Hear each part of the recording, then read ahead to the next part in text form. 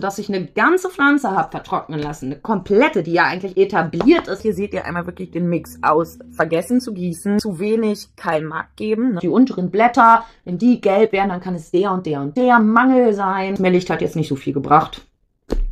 Jetzt ist er tot. Einfach nur schöne Pflanzen, das wäre ja langweilig. Ja. Man kann es sich eventuell denken, was hier passiert ist. Es war ein Ablegerglas. Wie man sieht, sind hier auch noch ein ganz paar grüne Parts dabei. Wenn ich jetzt Wasser reinkippe, könnte eventuell nochmal was passieren. Ah, also es war kein sie hat das Wasser nicht gewechselt, Grund oder irgendwie was, was man anderweitig hätte beheben können. Das Glas stand einfach zwischen anderen Pflanzen und ich habe es nicht gesehen. Und da es hier nun mal warm ist, verdunstet dieses Wasser nun mal relativ schnell. Und ähnliches kann euch eben auch passieren, ja? Also ihr seid nicht die einzigen, die mal eine Pflanze vergessen, die irgendwo dazwischen steht. Ihr seid nicht die einzigen, bei denen auch mal Stecklinge nichts werden. Das passiert jedem. Und ich verspreche euch wirklich, jedem. Ihr müsst euch in keinster Weise schlecht fühlen, dass eure Pflanzen nicht perfekt sind. Und ach, mir ist das wirklich auch so ein bisschen so ein Anliegen, weil ich immer wieder höre, dass manche dann aufhören, weil sie sagen, ja, bei den anderen sind die Pflanzen so perfekt und bei mir nicht. Lasst euch da nicht von Instagram und Facebook und was es alles gibt täuschen. Ist ja logisch, dass ich sowas hier nicht als Foto in meinem Feed poste, weil ich möchte ja, dass mein Feed hübsch ist.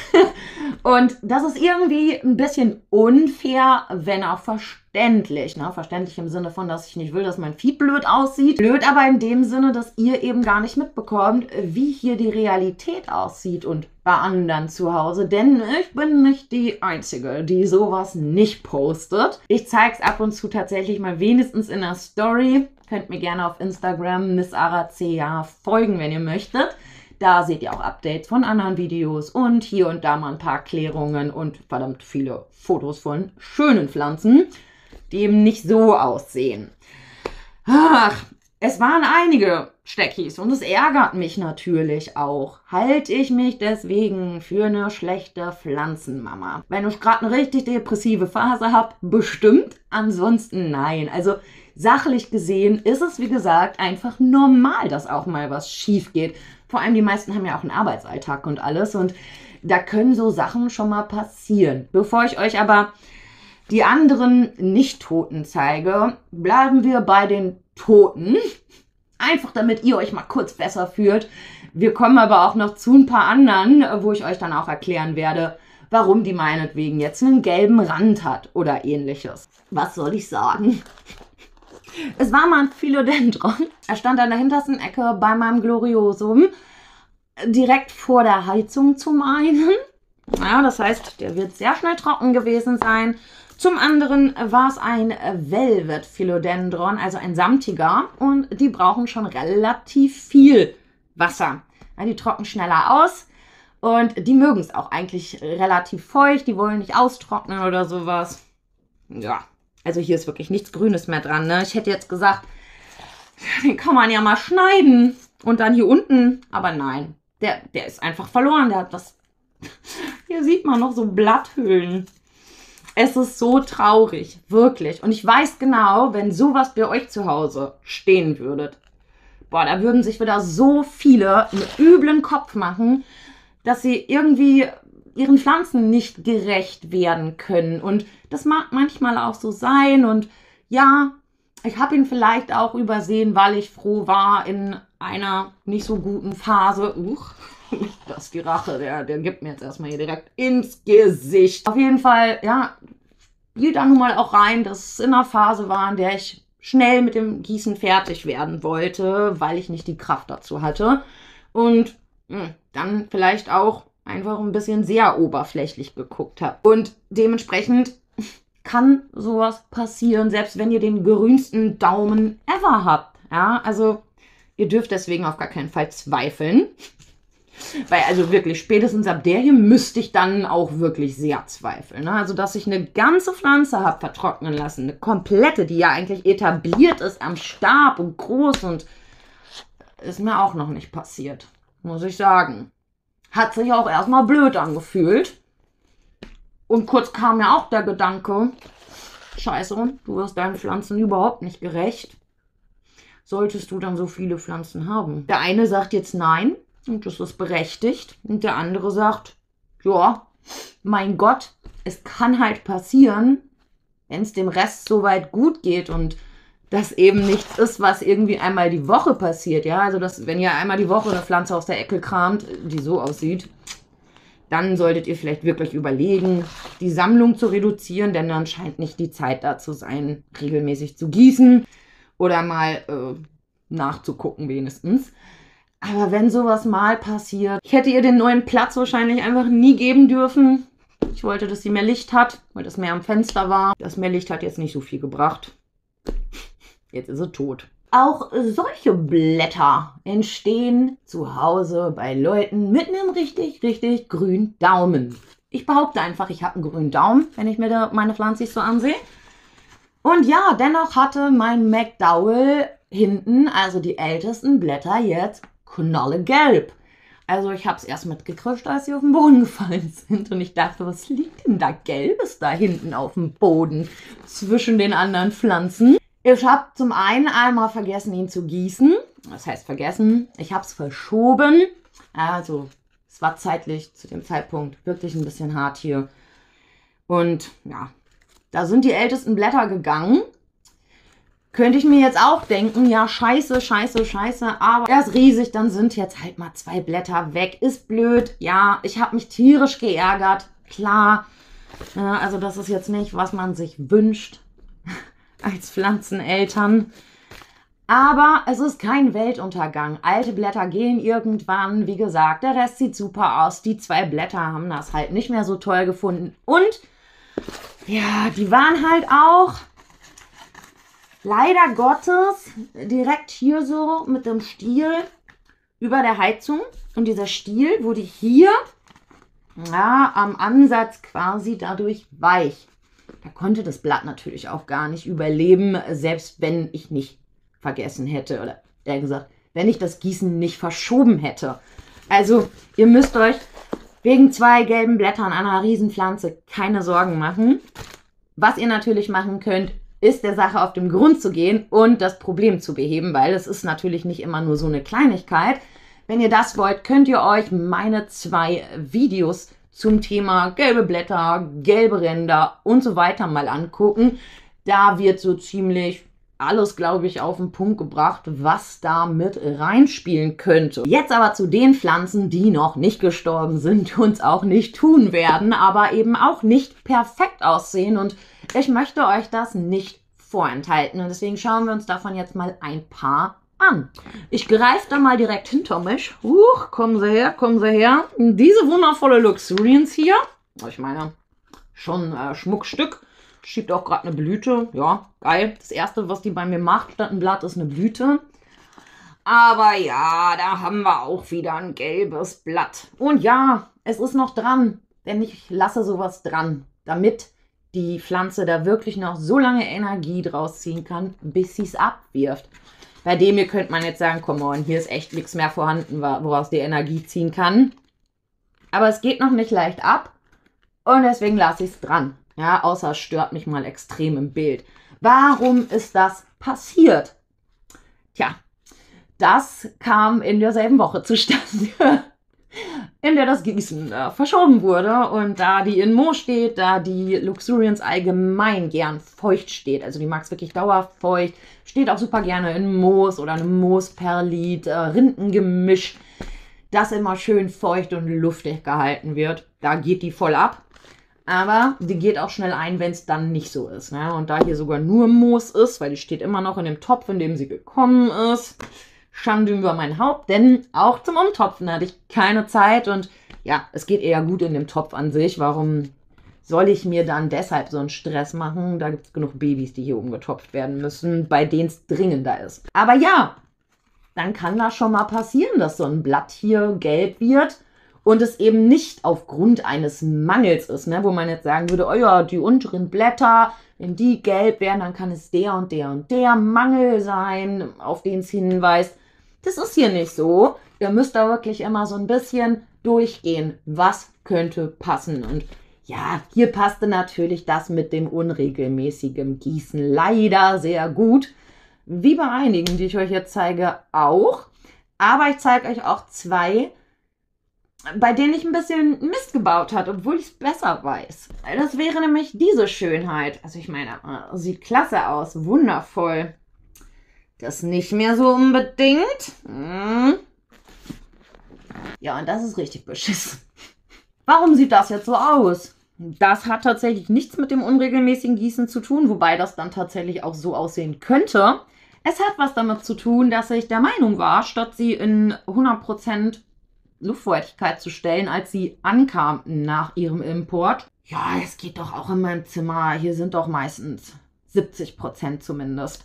Das passt schon. Und was soll ich sagen, die 70% hätten sicherlich auch gereicht. Allerdings kamen dann die warmen Tage die wir zwischenzeitlich hatten. Und da waren hier die Oberfenster durchgehend auf, weil ich hier einfach schon 26 Grad im Zimmer hatte. Ja, mit den offenen Oberfenstern hatte ich natürlich keine 70% Luftfeuchtigkeit, sondern zwischen 45 und 55. Und das finden Pflanzen, die gerade importiert wurden, nicht cool. So gar nicht cool. Ja, da hatte ich es dann schon entdeckt. Das Blatt war da auch eigentlich noch schöner, als ich es entdeckt hatte. Aber ja, es hat noch so ein bisschen nachgewirkt. Das Pflanzen zeigen ihre Problemchen nicht immer gleich an. Manchmal dauert es eine Zeit und das kam dann noch hinterher. Beim neuen Blatt, huch, oh, jetzt habe ich einen Riss im Topf. Cool. Beim neuen Blatt ist aber, wie ihr seht, alles wieder gut. Ähm, und auch hier ist es ja nicht weiter in die Ränder gezogen oder ähnliches. Von daher wieder so ein Ding, wo man einfach nur drüber nachdenken muss, warum ist das passiert. Aber wie ihr vorhin gesehen habt, wo war das Blatt? Nicht sichtbar. Das war so. Ja, und wenn ich dann hier rumrenne und meine Fotos mache, sehe ich es zum einen nicht, was mich freut, denn es sieht kacke aus. und sonst sieht es halt auch niemand anders. Und es ist, wie gesagt, ein bisschen problematisch dass es niemand anders sehen kann. Und wenn ich es nicht sehe, ich weiß es ja trotzdem, aber der Rest weiß es nicht. Nehmen wir uns hier die Bessei AFF, übrigens auch das neueste Blatt, wirklich hübsch. Schauen wir uns den Rest an, denn die war aus demselben Import und ich habe mir denselben tollen Gedanken rangezogen mit meinen 70% Luftfeuchtigkeit, die dann keine 70% waren. Also mit den Löchern kam es schon. Also bei den den hier habe ich dann gepeilt. Aber auch hier ist es trotzdem, ja, wie man hier sieht, noch später nachgekommen. Hat aber wieder mal, was wackelt die denn so? Also, weiß ich gar nicht, warum. Eigentlich ist die ziemlich fest hier im Topf drin. Hm. Vielleicht muss sie doch noch mal einen Tacken tiefer rein. Auf jeden Fall seht ihr, man kann das Problem beheben. Gar kein Ding, geht auch wieder besser weiter. Heißt, wenn dann mal so ein Blatt so aussieht, müsst ihr echt nicht in Panik verfallen. Es, es gibt immer Gründe dafür. Es gibt immer Möglichkeiten, diese Probleme zu beheben. Und es heißt vor allem nicht, dass ihr keinen grünen Daumen habt oder dass die Pflanzen der anderen ja so perfekt sind und eure nicht. Eure sind genauso perfekt. Nur nicht jedes Blatt. Und so ist es eben bei den meisten. Es werden einem nur nicht immer alle Blätter gezeigt. Will ja auch keiner sehen. Also außer in den Momenten, wo man sich schlecht fühlt und gerne ein Beispiel von jemandem hätte, der eben als jemand mit perfekten Pflanzen gilt, sag ich mal. Und ja, vielleicht wollt ihr euch das Video in eine Playlist packen, die ihr euch quasi in Dauerschleife dann anguckt, wenn es mit euren Pflanzen mal wieder nicht so läuft und ihr das Gefühl haben wollt, ja, bei Patricia läuft es jetzt aber auch nicht so geil, ne? Ich will jetzt nicht alle Pflanzen, an denen eine Kleinigkeit dran ist, äh, hier irgendwie durch den Raum schleppen und umstellen. Deshalb werden wir jetzt mal zu den einzelnen Pflanzen gehen und uns die angucken und danach sehen wir uns wieder. So, schauen wir uns mal direkt das hier an. ja, also das hier ist meine Red Crystal X Forgetti und dieser Rand hier ist meiner Meinung nach deshalb entstanden, weil ich als zu dem Zeitpunkt, wo die dritte Blüte kam, die andere ist jetzt schon abgeerntet, vergessen habe, PK hinzuzufügen. Ein bisschen was, um die Blüte zu unterstützen und hm, relativ direkt danach entstanden diese Ränder. Also kann ich es mir eigentlich nicht anders erklären, denn hier passierte, huch, ich hoffe, man sieht's, ah, da, da passierte nämlich das Gleiche und das auch als die dritte Blüte kam. Und deshalb gehe ich davon aus, dass das das gleiche Problem war. Allerdings haben wir hier auch einen Kandidaten, der richtig übel aussieht. Und hier war es ein Mix aus Kalmakmangel, was man vor allem hier an diesen Pünktchen sieht. Boah, ist da viel Staub drauf gerade.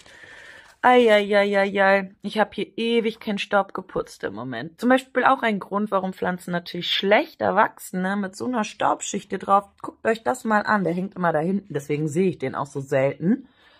Die anderen sehen nicht ganz so schlimm aus. Aber, ne, das ist dann natürlich auch was, dann wird weniger Photosynthese betrieben. Und ist natürlich schlecht für die Pflanzen. Aber hier seht ihr einmal wirklich den Mix aus vergessen zu gießen, zu wenig Kalmak geben. Ne? Wie gesagt, diese Punkte hier, die weisen da schon drauf hin. Der Fleck hier tatsächlich auch. Und ja, wenn man dann so einen schönen Mix hat und das mal ein bisschen so lässt, wie gesagt, ne, man sieht es leider erst später, dann kann sowas entstehen. Das neue Blatt ist wieder schöner. Das ist sogar noch verformt. Der hatte ich dann endlich keinen Mack gegeben. Da war die Pflanze dann allerdings, glaube ich, etwas überfordert und fand es ein bisschen viel. Aber wie gesagt, da ist wieder alles gut. Kommen wir zum nächsten Kandidaten. Ja, auch da seht ihr leider Gottes wieder Flecken vom unregelmäßigen Gießen. Und die entstehen hier gerade so ganz langsam. Also das seht ihr hier.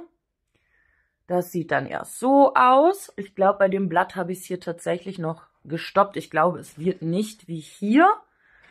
Aber es wäre nicht unwahrscheinlich, ähm, denn so fängt es meistens an. Und wenn das so ein, ja, ich sag mal, nur dieses Leichte ist, ihr nicht direkt so gelbe Ränder habt, so krasse, dann wisst ihr, es ist 100 pro wegen unregelmäßigen Gießen. Also ganz, ganz gewiss, diese Ränder hier, die eben noch leicht sind und können dann eben auch so stark werden. Hier dasselbe. Ja, ihr seht, ich sagte es ja schon vorhin, es gab da einfach eine Verschiebung meines Gießens. Naja, die älteren Blätter zeigen es nochmal mehr an. Das Neue ist wieder fit. Es kommt auch gerade ein neues und eine Blüte. Dementsprechend alles cool. Hier bei der Wegnorte sieht man komplett gelbes Blatt. Da habe ich jetzt tatsächlich mal nichts falsch gemacht. Es ist einfach ein altes Blatt, durch das sich hier eine Wurzel geschoben hat. Und ja, natürlich stirbt das Blatt dann ab, wenn es nicht mehr richtig versorgt wird. Also auch bei sowas müsst ihr nicht zwingend schuld sein und solltet eben erstmal gucken, ob da irgendwie ein Problem ist. Wo ich schuld war, war bei dem Blatt hier. Ja, also da sieht man ganz, ganz genau, dass es hier ein Problem gab und das nennt sich äh, nicht genug gewässert tatsächlich. Da seht ihr komplett, die ganze Spitze unten ist nach oben gegangen. Wenn ihr das habt, ist eigentlich immer wirklich ein Anzeichen, dass ihr nicht einfach unregelmäßig gegossen habt, sondern dass ihr die Pflanze einfach komplett vergessen habt. Übrigens gibt's das nun mal auch bei Philos, ne? Also schaut mal hier. Da sieht man, dass ein Mangel von Calcium und Magnesium stattgefunden hat. Kaum hatte ich das geändert. Ja, ich habe kein Matt hinzugefügt. Hm, neues Blatt, wunderschön wieder. Also das ist jetzt kein Anturien-Ding, ne? Das ist äh, das Kalmak-Problem oder auch andere Unterversorgungen, die ihr dann am Blatt sieht. Das kann bei allen möglichen Pflanzen auftreten und ist recht ähnlich. Oh, jetzt gehen wir nochmal weg. Oh, guckt mal hier. Ne? Hier könnte es jetzt zum Beispiel ganz schnell passieren, weil es einfach ein panaschiertes, pur panaschiertes Blatt ist, dass das eben braun wird. Und da werdet ihr dann auch wieder nicht unbedingt dran schuld, weil es hat halt wirklich krass viel Panaschierung. Ne? Ähm, hier sieht man das. Musste ich das auch mal irgendwann wegschnibbeln, damit mir das hier nicht weggammelt. Konnte es damit stoppen dann am Ende, aber ja, ne, war einmal ein bisschen zu feucht und bei Panaschierung geht's dann direkt ab. Meine wunderschöne Kurs ist ebenfalls so ein Kandidat, bei dem die älteren Blätter dann angefangen haben zu zeigen, Girl, bitte mal gießen, wie wär's damit? Ja, und wenn wir schon hier sind, na, die neuen Blätter sind natürlich wieder alle hübsch, na, hier dasselbe, das neue ist wunderschön, aber hier war dann auch wieder unregelmäßiges Gießen am Start. Und man sieht das eben, ne, auch bei einem anderen Blatt, dass es, also, ne, viel mehr Anzeichen kann eine Pflanze auch so staubig, ist hier in so einer Ecke, kann euch eine Pflanze eigentlich nicht geben. Ich weiß, viele schreien bei solchen vertrockneten Spitzen, es ist die Luftfeuchtigkeit schuld. Ist es nicht. Es wird ständig gesagt, aber wenn, ja, wirklich, wenn sowas hier passiert, dann könnt ihr davon ausgehen, dass ihr einfach vergessen habt, eure Pflanze zu gießen. Oder hier beim Red Vein Dark Phoenix, ja, Schönheit, Schönheit, aber leider Gottes eine echt hungrige Pflanze. Ja, man sieht hier wieder kein Markmangel. Hier sieht man, ich habe sie leider auch ein bisschen trocken werden lassen. Ne? Hier sieht man schon, das Blatt wollte sich aufrollen. Bei dem hier sieht man nur den Rand, von dem ich vorhin gesprochen habe. Hier konnte ich es scheinbar eindämmen, aber ich wäre mir noch nicht so sicher. So, da schaut mal hier, ne? Wunderschönes neues Blatt. Das alte ist auch wunderschön. Aber auch hier eine Zeit starker Keimackmangel gewesen. Boah, ey, das sieht ja noch staubiger aus als auf, auf der Kamera, als es ist, meine Güte. Oh, es wird so Zeit, dass ich wieder richtig Zeit habe, ein paar Tage, mich hier um alles gut zu kümmern. Aber erst, wenn das Projekt durch ist. Und dann geht's wieder richtig los. Ihr Lieben, das war mein Walk of Shame. Ein zweites Mal. Ich, ich verlinke es euch mal. Ich hatte ja schon mal so ein Video gemacht aus genau dem gleichen Grund, dass ich eben wollte, dass ihr wisst, es ist nicht immer alles perfekt und es muss auch gar nicht perfekt sein. Und eure Pflanzen sind nicht weniger toll, nur weil da mal was gelb dran ist oder vielleicht auch, weil dann tatsächlich mal eine stirbt. Gerade bei Anfängern übrigens finde ich, ihr solltet euch die ersten zwei bis drei Jahre überhaupt keinen Kopf machen, wenn euch mal was stirbt. Meiner Meinung nach gehört das so ein bisschen dazu. Ne? Also Erfahrung sammeln, so ein bisschen Gefühl dafür bekommen. Nicht nur hören, theoretisch von anderen, sondern auch ein Gefühl dafür bekommen, warum ist meine Pflanze gestorben? Was habe ich falsch gemacht? Was habe ich vielleicht zu gut gemeint, ne? Gießen, Dünger, vielleicht auch zu viel Licht, ja, auch das kann eine Möglichkeit sein, dass eine Pflanze echt bescheiden aussieht, gerade bei Anturien, die bleichen dann nämlich gerne aus. So, aber jetzt genug von mir und meinen nicht so sexy Pflanzen.